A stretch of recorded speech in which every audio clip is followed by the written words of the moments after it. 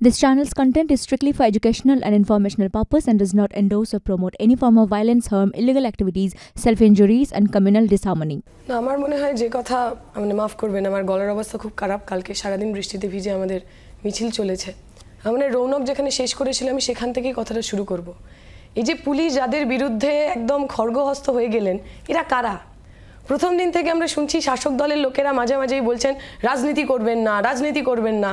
এটাকে রাজনীতিরভাবে রাজনীতির ভাবে ব্যবহার করার চেষ্টা করবেন না।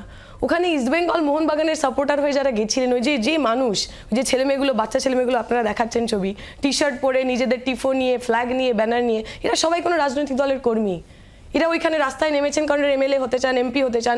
এদের নিজেদের কোনো অ্যাসপিরেশন আছে পলিটিক্যাল অ্যাসপিরেশন রয়েছে। যারা কন্টিনিউয়াস বলে যাচ্ছেন, রাজনীতি করবেন না তারা কারা?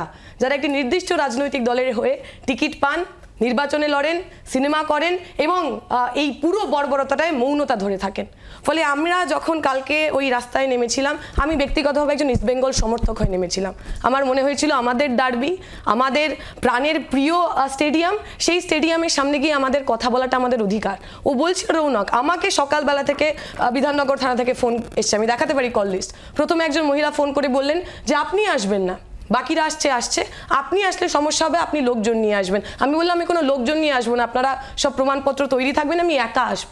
দ্বিতীয়বার একজন ফোন করে বললেন যে আপনি ফেসবুকে পোস্ট করুন আপনি বলুন যে আজকের এই প্রোগ্রাম ক্যান্সেল হয়েছে। আমি কে? Bidhannagar police station. আমি দেখাতে পারি, এখন আমার কাছে কল লিস্ট আছে, আপনারা যদি নাম চান, আমি নাম পর্যন্ত দিতে পারি। আমি বললাম যে আমি তো ডাকিনি।